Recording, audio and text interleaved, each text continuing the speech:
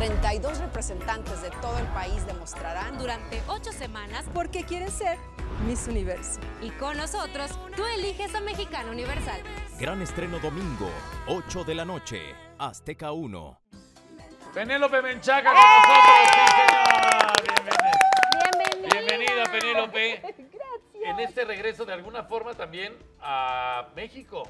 Sí. ¿no? A la pantalla de México y qué bueno, nos da mucho gusto. Y yo también estoy muy contenta, como digo, estoy tan feliz que aunque me manden al demonio, hasta les traigo algo. Eso, muy bien, muy bien. ¿Tú de dónde eres, Penélope? Bueno, nací en el Distrito Federal, pero viví siempre en el Estado de México, o sea Ah. que mexiquense. Muy Pero y en. Estados Unidos hace años que te fuiste. Casi 20. Fíjate. Pues sí. Qué bárbaro. Pero te estuvimos viendo mucho tiempo aquí con el programa, con 12 corazones. y Sí, todo. gracias a Dios, entre que lo vendían y se veía en otras partes, por lo menos la gente se acordaba de mí. Y mi No, mami me pero podía ver en la tele. ¿Y ahora cómo te sientes con este proyecto de Mexicana Universal? Estoy muy contenta y si me dices cómo me siento, me siento muy chaparra. Ah, Mira, bueno, qué bueno, altas sí, son sí. todas las Y niñas. qué flacas. Sí, ay, pero muy bonitas. Muy ¿eh? bonitas. Muy, Sí, muy bonitas, unos Sí, hay unas guapísimas, cuerpazos. Sí, Sí, la verdad es que sí. Va a estar complicado. Ayer nos dijo Rebeca de Alba. Antier nos dijo Rebeca de Alba. Ayer. Que, No, hoy es antier, sábado. Ah, sí, antier. que, que la de Zacatecas, su paisana, mide un 82 descalza. Es la más alta. Imagínate un 82 descalza. Quiero que vean algo. ¿Me puedo levantar tantito? Por favor. O sea, párate tantito. Para que se den una idea. Un Pues 80. sí. Esta soy yo. Bueno, Esta soy Ay, yo. Rebeca. Esta. Pero yo también, Entonces- yo, yo mido 1.92 también. Eh, yo no mido. Entonces, Ay, ahí es donde se nota. Por eso digo que las chicas sí son bien altas. Pero estoy contenta, Ay, estoy muy ¿Y contenta. cómo las has visto? Porque ya han convivido con ellas en distintos momentos. ¿Ya las empezaste a ver transformarse, evolucionar o algo has visto de ellas? Pues realmente no. Queremos dejar de sorpresa para exactamente mañana que empieza, por si acaso no lo he dicho, a las 8 de la noche para que nos acompañe. Eh, mañana es cuando realmente, porque siempre me preguntan, ¿y qué vas a hacer? ¿Y qué vas a decir? No tengo idea. No sé. Y me dicen, ¿cómo no vas a saber? Pues no, porque no es Claro, como que tengo algún script No, y dice, tú vas a hacer no, esto. No, yo me tengo que sentar igual que todos ustedes, me voy a sentar, voy a ver qué fue lo que hicieron durante la semana, las voy a ver a ellas, las voy a escuchar y ahí es cuando puedo decidir qué voy a decir. ¿Desde pero- qué punto de vista Penélope Menchaca va a hacer su crítica? Eso sí. Desde mamá. Eso es importante. como si fuera su mamá. Porque mira, lo he dicho y lo repito, no voy a andar poniendo el dedo así o así para mujeres que se ven mucho mejor de como yo me vi o como algún día me veré. Entonces, ni al caso yo de, ay, te falta esto, te sobra esto. Ni les falta nada ni les sobra. Luego, hablar de moda, pues tampoco es lo mío. Hablar de concursos de belleza, pues tampoco es lo mío. Entonces, como digo siempre, más sabe el diablo por viejo que por diablo. Cierto. Tantos años que llevo, algo se me ha de haber quedado aquí, que a lo mejor les puedo ayudar, puedo decirles algo, algún comentario de lo que he vivido como mamá o como artista, entonces todo eso es lo que yo quisiera. Oye, pero como, como mamá ¿no? estricta o no? Pues o depe- barcona. mira, depende. O sea, no me gustaría, en este momento te digo, no me gustaría decirles nada que les pudiera lastimar o que en algún momento cambiara la forma de ellas de Claro. sentirse inseguras. No quisiera hacer algo así. No lo sé. Sí, claro. No lo sé. Pero tú eres muy no. franca, Penélope. Exacto, eso es lo que me preocupa.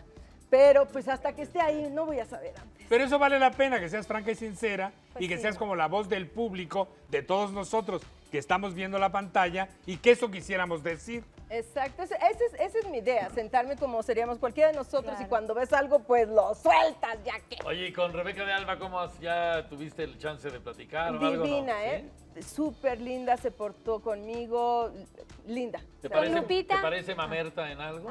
no. Ay, Daniel. no, Yo, no puedo, bueno. yo no puedo hablar nada malo de ella porque conmigo se ha portado Bien. divina, súper bien, Es no tengo nada, ni, ni así una cosa chiquita que yo dijera, ay, pasó y no me vio. No, ¿Y no. Lupita Jones? También, yo ¿Qué no pasa? he tenido problemas con ninguna. Cristal también es una amorosa. Ah, sí, eso me encanta. Todos, todos se han portado muy bien. Brandon. Brandon apenas lo acabo de conocer el día de la rueda de prensa porque pobrecito lo aventaron Sí, así. sí. Véngase para acá. Pero también muy lindo esto. Yo siento que es un equipo igual y porque yo estoy ahí, ¿no? Pero Ah, no, es- pero es verdad, Es, sí. un muy buen equipo. Sí, Todos sí nos llevamos bien. Las veces que hemos platicado juntos, todo es muy ameno. Nadie está en pose, nadie, no, para nada. Ha habido muy buena química entonces. Sí, la verdad es que sí. A pesar de que tú quieres soltar algo, que No, yo te diga algo, no, que estás ahí en el mendigo, yo sé, pero no. no. Siento decirte que no, no hay nada. Oye, también van a tener acceso a lo que pasa dentro de la casa, ¿no? Se van a enterar ustedes de eso y también sobre eso pueden opinar. Sí, es, de hecho va a durar dos horas.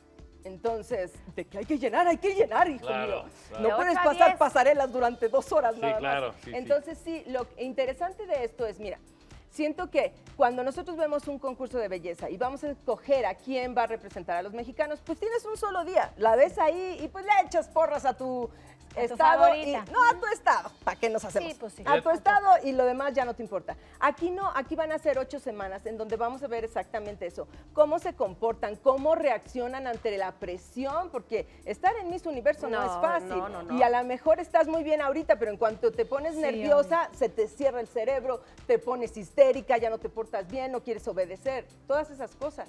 Así Oye, es. de entrada, ¿conoces la casa? No, la voy a conocer apenas hoy qué en... padre. Fíjate que aquí Te tenemos una nota a, nosotros ¿Ah, tenemos sí? algo para ti. para que veamos esto juntos. Vea usted. Con Cristal Silva.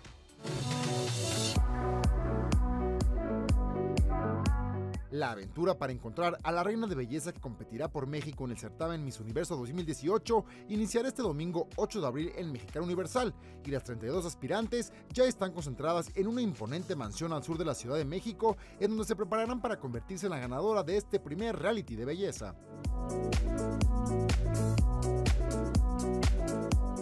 Silva, representante de México en Miss Universo 2016 y copresentadora de Mexicano Universal, nos mostró los secretos de la casa y los sitios donde convivirán las participantes. La mansión, como le dice Lupita Jones, la mansión, pues mira, aquí pueden pasar muchas cosas. No sé qué ha pasado durante todos estos días donde ellas ya estuvieron aquí durmiendo en una habitación. Imagínate 13 niñas en una habitación, un mínimo de 6 camas en una habitación.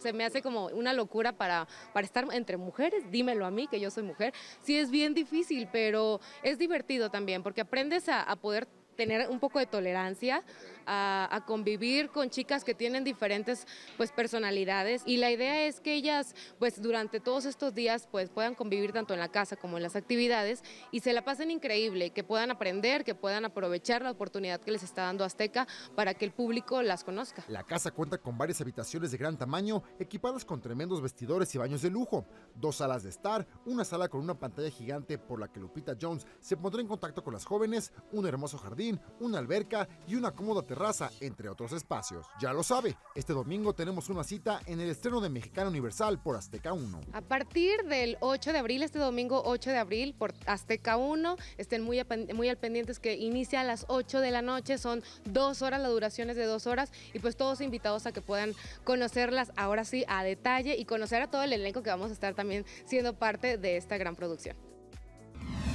Qué Oye, padre. se ve espectacular la casa, ¿no? Ya quiero que sí. empiece. Ya, esa es Yo otra también. razón por no quererte ir antes de las Claro. ocho semanas. no, sí, usando la alberca. los- Oye, Los imagínate. jacuzzis. Ay, qué Muy a gusto. gusto. Muy a gusto. Lo que sí veo Pero la complicado presión- es que tengan que dormir varias en el mismo cuarto, Sí. porque ahí ya van a empezar Imagínate, los no no, pueden conflictos. yo te cenar voy a decir esa. coliflor. Y el baño, Eh, es- ¿Y era el lo que les baño? iba a decir. Para mí lo más complicado es La eso. presión para mí es el Que baño. solo hay tres. Sí, el y espérate que si alguien ya está adentro, que como Si dijo, si tarda, te cayó algo mal en el cayó algo mal. Pues no, hay que Qué decir, siempre hay que decir está clausurado. De que Está clausurado tres años. Entre, entre bajo su propio riesgo. Sí, se hay nos que levantó el muerto. Luego Peter no nos avisa aquí en el del camerino. Ay, vieras. Pedrito, No les creas, Vieras. Penélope. Ya lo Ya luego que levantan desayuna venado y cosas raras. Desayuna en Amarillo. hechos, luego en Venga la Alegría, sí, luego Lo echa. salpicado. Sí, no, no, lo echa con todo y caparazón, el armadillo. Ay, mejor no, me quedo callado porque no es verdad. guácala. Por eso ni me defiendo. Sí. Oye, Penélope, entonces estás contenta, estás feliz. Qué bueno que regresas a, a la televisión mexicana, nos da mucho gusto. Gracias, la verdad sí. No, no me puedo quejar, estoy muy, muy contenta. Besos para todos. Los estaremos viendo a partir de mañana. Por favor, a partir de mañana a las 8 de la noche, ya sabe, Mexicana Universal. Pero no es nada más un show, son 8, así que todos los domingos nos iría acompañando. Así Muy es. bien. Penélope Menchaca, no se la pierda mañana en Mexicana Universal.